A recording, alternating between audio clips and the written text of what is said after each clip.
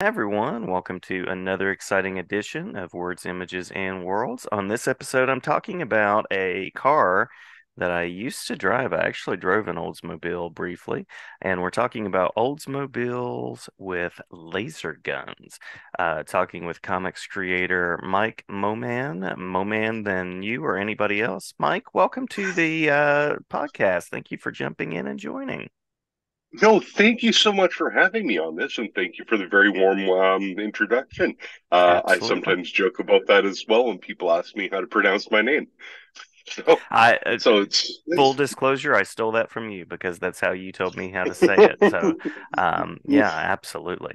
Uh, now you have this series, Oldsmobiles with Laser Guns, uh, which we'll get into. That's a that's a, such a great title.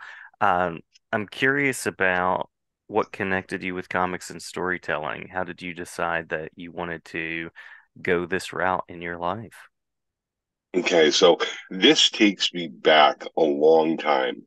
Um, first of all, growing up with ADHD, parents don't really want to acknowledge that you have ADHD. Back when I was a little kid, um, it was always difficult for me to focus on one thing or another. I was great with writing stories, with creating worlds, creating characters, but never had the ability to focus long enough to put pen to paper to make something that was actually tangible. Um, but I found at a young age that if I was to incorporate images, pictures, create the dialogue, the narrative with images, it would mix things all over the place. And I'd get full, you know, five, ten page comic strips written, even at a young age. So I, I knew that there was this connection but there was never an encouragement for it. It could have been because you know sometimes I'd draw in boobies in those, so you know when you're a little kid, right. you get in trouble for that.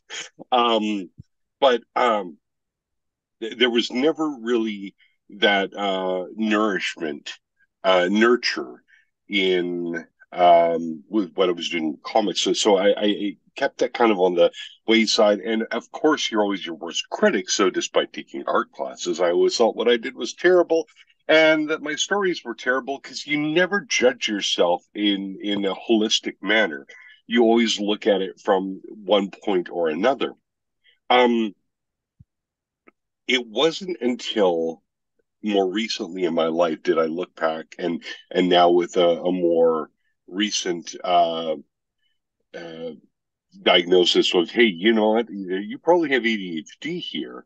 Did I realize that this was a superpower I have not been harvest or harnessing mm-hmm. um, in that ability that that I can use all of these skills that I've created, all of these um, little bits of of abilities to create something that's amazing that that people could appreciate. And and that's where this kind of came to. Um so the, the passion for comics was was always there dormant.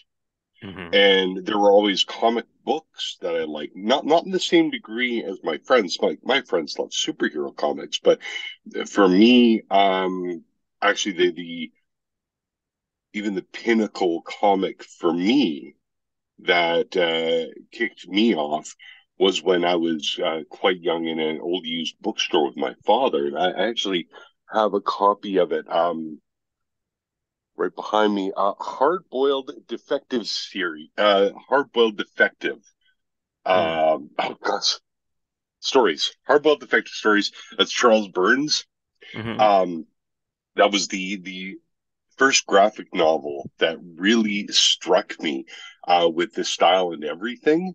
Uh, and, and, my, my parents, being Protestant Christian, when they, they found out that I had uh, bought something that atrocious, uh, I think my father's exact words were, I threw it away. That was unnecessary. Nice. That was nice. it. Yeah. And I just thought it was unfair. And it was the first comic that I ever read, wrote, read back to back. Loved it. Loved the art style, the black and white. Um, and then that's where in more independent European comics, those were, that was what I was drawn to. Um, mm-hmm. so maybe with the my all my friends will like superhero comics. I, I think that's where I was drawn more to the Punisher because he wasn't so much a superhero; he was just a dude with guns. Um, and a lot of the dialogue, I, I think, um, maybe uh, a lot of people don't uh, recognize the um, narrative that was in there, where he was constantly talking about uh, basically PTSD. His, mm, his mm-hmm. the whole series, and uh, the Armory was actually one of my favorite series by Punisher, where um, it was just him talking about a gun. Each page was a different model of gun, and then it would be a little narrative of his life and story. And that was something so truly unique to me. That's where my passion was with the the story building, with graphics, and and not about something that was super. Yeah. So yeah. that that brings me to my passion where where now I've put everything together and I knew from the get go that I wasn't going to be this. I, I, hate to use the air quotes, comic creator. Mm-hmm. I have a lot of friends, I have peers who write comics and then they hire other people to do their art. I write the scripts. I do the art myself. I don't care how bad it is. I it's my baby, and I get to say that I did that and I created that. It might take a little bit longer than if I was to just hire someone from Nicaragua to do it for me, but I, I feel good about myself and ha- saying, "Hey, my name's plastered all over there," kind of thing. Yeah. Uh, any any particular inspiration behind Oldsmobiles with laser guns? Anything about Hmm, how the story came together that you'd like to share. Sure. Well, you yourself said that you used to drive an Oldsmobile. Mm-hmm. And what one was that? I think it was an Achieva, I think. And how old were you when you were driving an Oldsmobile? Somewhere in my mid 20s, something like that. Yeah. Yeah. Any memories you wanted to share about that? Um, I remember that there was this really interesting thing that it would do, and I'm not quite sure why, uh, but sometimes it would smell like maple syrup. Maybe you got yours from Canada. Maybe so. Maybe so. um, sorry, it's that's funny to me being a Canadian. So I, um, I my parents had an Oldsmobile when I was a kid. I grew up in the back seat of an Oldsmobile. Essentially, they would mm-hmm. drive around everywhere, and I would always be in that Oldsmobile. And um, memories of oh, when I got to sit in the passenger seat, that car was a spaceship to me. Mm-hmm. Mm-hmm. Uh, so now that that was an '83 Oldsmobile Cutlass Ciera, navy blue, just like the Oldsmobile in my comic. Nice, that is nice the comic I grew up with as a kid. Now, the concept of Oldsmobiles laser guns didn't come into fruition until I was about 15. Um, I had recently picked up the guitar. I started playing music and um, I wanted to write a song. One of my friends sat me down and said, You know what? You just got to think of something that's funny and put the words together. And I was like, my parents' car, Oldsmobile, Oldsmobiles laser guns. I wrote this song. Uh, did you have a chance to hear the song? Well, sure, by all means. no, so, no, I um, I sent you the link. Sorry, did you have a chance to hear it? Oh no, no, I'm sorry. I thought you were getting ready to sing. I was going to be. Excited. Oh no. no, no, it, it's early in the morning. Uh, right now, I sound like Barry White, not uh, the good type. Not the good time to sing for me. um, but yeah, if you wanted to throw a link for the the song for anyone that wanted to hear the By more recent means. recording of it. By yeah. Um, so so at 15, I wrote the song. Loved it. My band played it. E- even um, last Sunday, my band uh, got together and we played the song again. So this has been a band that I've had for a very long time, a punk band. And um, at 15 with this song in hand, I'm like, this song's narrative, the story is just so good. Mm-hmm. I need I, I, need to do something more with this. And my ADHD was tingling. Um, and I started drawing a little comic. And I think I got maybe five or six pages of it. And then I redrew it and redrew it and redrew it. And there it lied. It just, know, I got caught up with something else. I didn't know how to make comics at the time. I was just drawing panel per panel. I, I didn't have any concept of that how to plan things out, that I had to write a script, that I should have thumbnailed things. I was just drawing every panel on the seat of my pants, ready to go. And that bothered me for almost my whole life. How I started this comic and nothing came of it. Because I had drawn other superhero comics for fun as a kid, and you know they, they would always just you titter out. Mm-hmm. Um, and then something something came to me while I was waiting on changing over into a new job. I was uh, uh, leaving. I believe this would have been probably my last job in law. And then going into the the um, not for profit sector, where where I started actually thinking about these things that I never pursued, and instead had pursued a career in law. Mm-hmm. Um, and then getting into the not for profit sector, all of a sudden, well, why I had spare time again. And had a lunch break. I could do my own thing during. And and that's kind of where I was able to, to take this and say to myself, Mike, this is something you were so passionate about. You wrote a song about this. You you started a comic book. Why don't you finish this?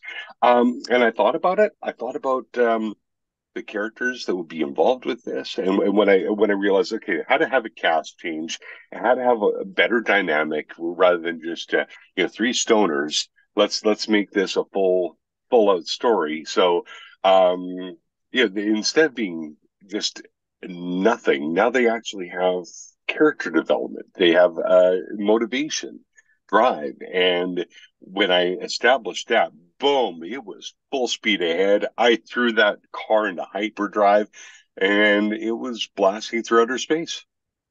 Nice, nice. Now, now, as far as putting together the book, anything that you'd like to share about the kind of creative process that you go through? Mm.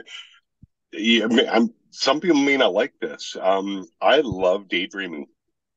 If I just daydream about it, when I'm driving in my car, I will just listen to the sound of the road and kind of pay attention to the road, but daydream, think a little bit about that uh, before going to bed. I will daydream, conceptualize things that I like, and I take write down notes.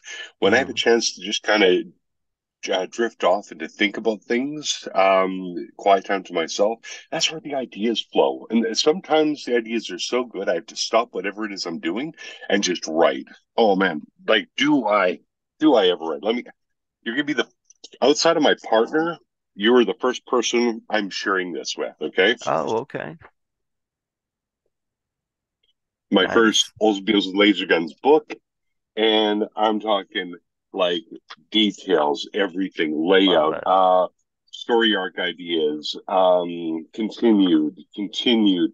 First conversation with. Can't share that with you because that's not going to be for a while. nice, nice. So you you are definitely a planner. Uh, which is weird because I, I'm not really. I, I don't think I've ever really been, but then just when you be when you become passionate about something, you really find those things that work good. Mm-hmm. And um, going by the seat of my pants works great for a lot of things, but when when you're trying to make a story, and be, because of um, uh, with Oldsmobiles and Laser Guns, time travel is involved with this, so I have to have consistency between issue one and the planned issue twenty five. Mm-hmm. Mm-hmm. So I, I need to make sure that everything works with each other so that there's no continuity errors. Nice. Gotcha. Gotcha. Yeah. Now, um, if I'm a listener out there and I kind of want to know maybe the elevator pitch or what I would expect from Oldsmobiles with laser guns, what would be uh, something that you would want to share to sort of get me intrigued? Well, you know what? It's a simple story. It's about three friends who find an Oldsmobile in the back alley of a bar. They pop inside for some reason and they're blasted into another galaxy. Now they're trying to make their way back home. Mm-hmm. Uh, unfortunately, they're all idiots. None of them are space wizards. None of them are the chosen ones. None of them have any special abilities whatsoever. They're just a bunch of guys that were looking out to have a good time one night, and instead, bam! And now um, they have no idea what they're doing. Uh, the space cops are trying to kill them. They have no idea why. Uh, the pizza places all refuse to deliver to outer space, and they can't figure that out either. So they're really out of their element. Um, and now they're caught in the middle of a space, a galactic space war, because of course they have to be caught in the middle of a galactic space war. That's just how things roll when you're in a space opera. Mm-hmm, uh, but mm-hmm it's a it's a sci-fi comedy, but it's not like slapsticky with uh, with a whole bunch of um shtick and spoofs. It's it's it's comedy that's built from the conversation that naturally occurs. These are three guys that you know, or maybe you are one of them. When you hang out with your friends, it is the the sauce that keeps you together. So these three friends that you listen to talk to, you're like, these guys do not like each other. Mm. No, they are best friends. That's their level of conversation. Where if they're not razzing on each other, something is wrong. Nice. Nice. So sounds like characters I can get into and sort of listen to, and uh, friendship there, along with adventure and some really interesting kind of science fiction uh, elements as well. I try to keep the science fiction as as engaging to science fiction fans as possible, so that mm-hmm. that there is a respect for that fantasy science fiction that's happening. Where on the the the car side, I try to keep that as appealing to people who have those passions for cars. I, I I'm not even a car guy, but I've had people that love Oldsmobiles and those classic G bodies from General Motors come up to me and they were just like, "You had me at Oldsmobile. Tell me yeah. everything." does this have a Rocket 88 engine in it? And I'm like, it does now. Um, which is a a V8 engine that some of the Oldsmobiles had. It, the same one that was in the uh, original Adam West Batmobile. Oh, nice. So nice. Okay. yeah, yeah, they, these are all things that I found out because again, I'm not a car guy, but people that love cars that have been reading my comic have been educating me. oh gosh, are the the Oldsmobiles fans? They are some of the coolest people that I've met so far. Um, but then the comedy side, it's it's really that, that natural uh, jokey side, and, and, there's a little bit of everything with those character development. You have the character of Mike, who's dealing with insecurities and um, his realization of being in a leadership position that he doesn't feel he deserves. Uh, you have Nathan, who's dealing with uh, depression and self-loathing uh, while expressing a hatred to other people instead because of that self-hatred, as he's overcoming um, some addictions. Uh, you have Bryce in the back seat, who he's just an ass. Uh, but you know, it's not it's not his fault. He's the most attractive one of the group, and uh, he actually has a, a very uh, built up character arc that that is teased in issue one, but that's not going to go into uh, for the next couple series. But but again, it, it's um, some hidden things that he has in his life that he's too afraid to discuss. Um because he doesn't trust his friends enough because he's just scared that everyone's going to hurt him all the time.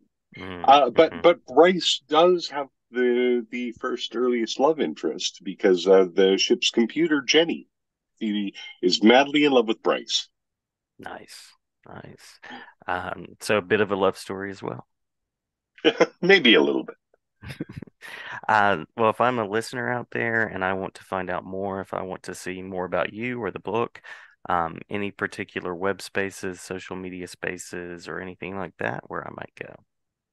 Oh, just uh, the website, oldsmobilescomic.com. Um, if you sign up for the newsletter, you can get a free copy of issue one and two uh, sent right to your email right away. So that's where I'm at. Like number three is about to be published. So uh, you would have all the comics that are available sent to your email just by signing up to my newsletter. And that again through, through the website, oldsmobilescomic.com. Awesome, awesome. Well, Mike, I appreciate the time. I appreciate the conversation, the creativity, including Oldsmobiles, and uh, glad to have you back anytime to talk about the series as it develops. Jason, I really appreciate that. Thank you so much. Absolutely. Thank you.